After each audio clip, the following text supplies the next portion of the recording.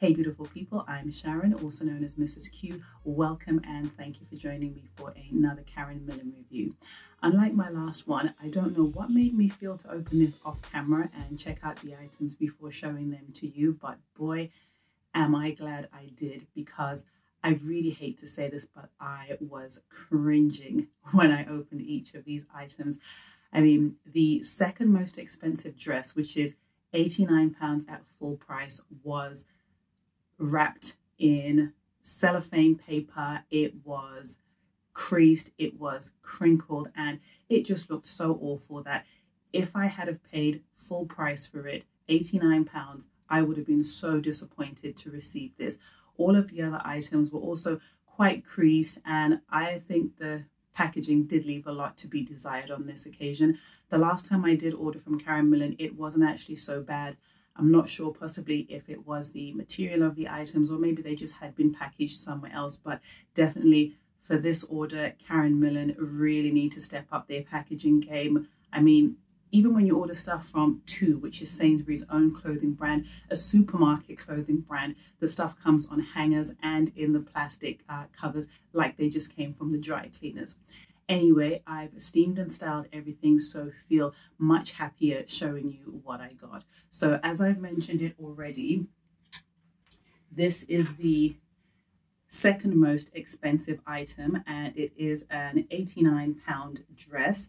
Uh, Karen Millen referred to it as a heavy satin draped woven mini dress.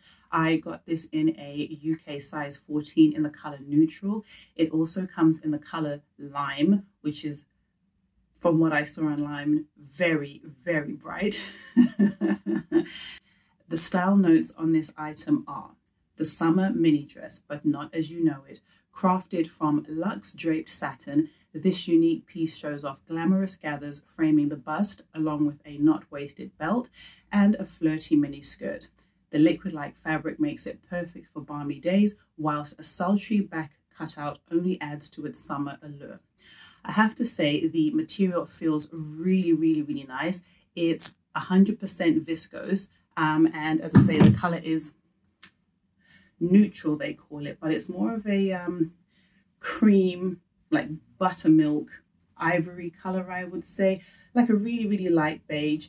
The fabric has a very soft sheen on it, so it's not like it's too shiny uh, to wear out in the daytime if you just dress it down maybe with a pair of sandals. Uh, in the evening, obviously, you can wear a pair of high heels, whatever footwear really. You can even wear this with a pair of trainers. Listen, everything is in fashion these days. So, yeah, definitely you can rock that with trainers, sandals, high heel shoes, wedges, boots, you name it. A couple of things that I really liked about the dress is the bust line is so, so, so very flattering. I think it's going to be the gathers and the draping. They just give you a fuller bust, as it were. Uh, another thing that I do like is the neckline of it. It's giving me like some serious grown woman, elegant lady evening shirt vibes. Another thing that I really liked about the dress is even though it is a mini dress, it's not one of those dresses where it leaves you with everything hanging out. I'm very much of the old school fashion rule of having one or the other out, but not both at the same time. So, for example, if you were to wear possibly a skimpier, more revealing top with more of your chest and your arms exposed, personally, I would then go for a midi skirt or a pair of trousers or a nice pair of jeans or vice versa. So with this really elegant neckline, I think it is still quite sexy in a very classy and downplayed way. It also has a great balance to the whole dress uh, as a whole. And I think it really does leave a little something to the imagination, which in my opinion is never a bad idea. One thing I didn't like about this dress was how it really emphasized my belly area. I'm no skinny mini and I do carry a lot of weight around my belly and my waist. And as I say, it really did emphasize that a lot. Um, I did try it on with Spanx and without Spanx and it made no difference at all. I think the only thing that you could be confident about if you do put your Spanx on underneath it is that your modesty will be protected if the wind blows. You all know I love a slip dress and I've done a comparison with one that I got from Primark. It's also 100% viscose. It's pretty much exactly the same color as this Karen Millen one and I can swear these two dresses were actually cut from the same cloth. I liked the dress from Primark so much, obviously, and I had to buy it in all the colors that they had available in my size. They were on sale, reduced from, I think it was either 13 or 15 pounds.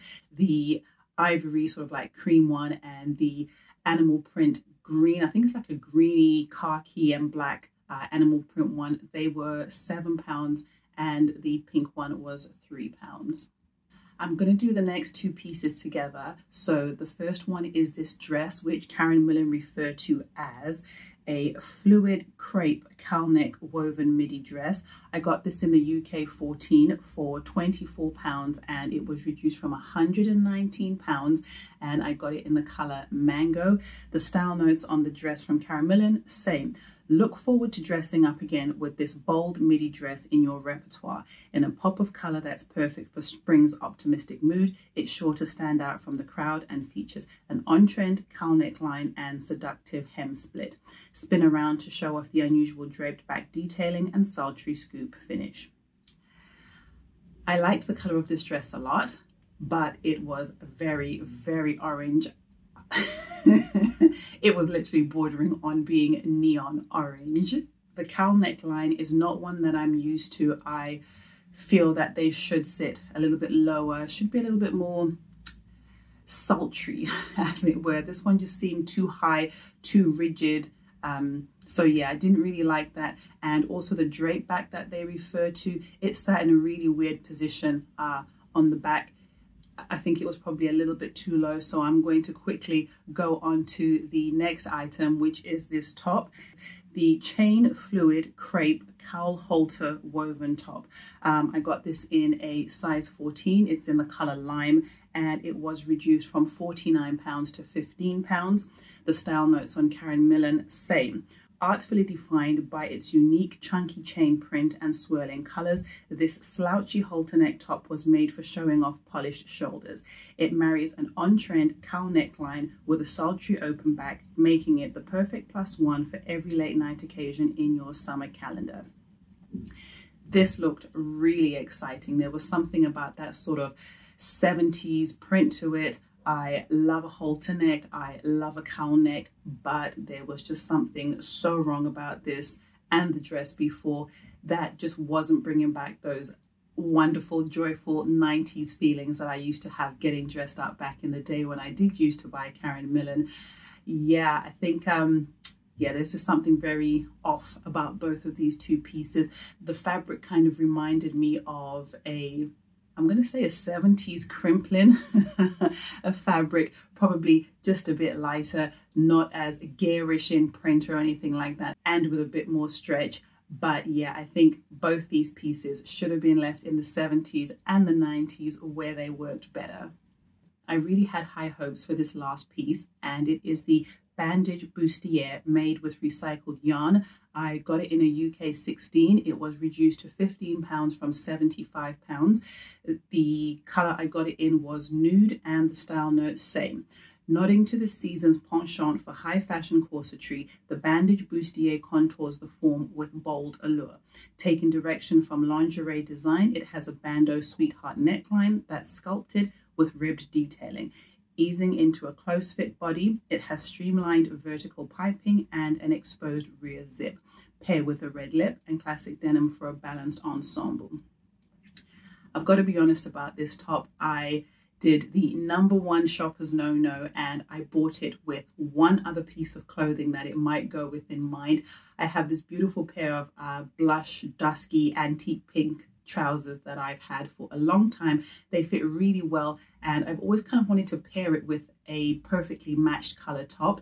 And yeah, this is just that item that I thought, yeah, this is going to go perfectly with it. And it didn't, which is probably not the worst thing because if I'm honest, I'd probably only give this top about, I'm going to say, a four out of 10 maybe. And the color didn't match perfectly as much as I'm no skinny mini and I do have my rolls and my lumps and bumps, I really didn't like the Michelin man look that it gave me on the back of it. I also did get this feeling that it would keep rolling up or trying to pull down, even though it does have that uh, silicone on the inside of the band. I'm actually going to show you that here. So it actually has, I'm not sure how well this is going to show up, but it does actually have, there you go. So it does actually have this band of silicone at the top, which should keep it from slipping down. But I really didn't feel that it was going to do that very well. It does have a nice zip on the back of it, which I would have hoped would have given it more structure that normally boning in these little bits here would have done. It doesn't actually have any boning, but the zip doesn't give it much structure at all. And as I say, it just kept feeling like it was clumping up. Um, I think it's almost too short as well. So structurally, even though it's pretty structurally, I don't think it's made very well. Uh, I think if you're going to buy a corset, buy an actual real proper corset, not something that's made to look like a corset. I'd say it looks like a corset, it has the shape of a corset, but it absolutely does not have the structure of a corset. Again, I've worn it tucked and I've worn it untucked, and I think it just really is just way too short, hence why it keeps feeling like it's going to roll up. I think it would do better if it was a bodysuit or a dress. I could be on board with uh, either of those two pieces if they ever made one. Not a huge bodysuit fan, but I would definitely give it a try and it would probably be an absolute yes if it was a dress. In summary, this shop really has left me wondering are my expectations too high or is my budget too low? Still, however, I can't seem to help myself when I get on a trend or latch onto a brand. And in this case, I am determined that Karen Millen will redeem themselves. And I've already placed another order for a couple more items in the hope that third time will be the charm. If you'd like to see part three, please do subscribe, hit that notification bell so you don't miss a thing. But in the meantime, please do feel free to share, like, and comment, and I will see you next time.